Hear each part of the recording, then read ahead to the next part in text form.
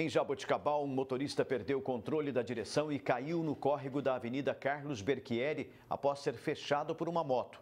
O carro ficou parcialmente submerso. O condutor teve ferimentos leves.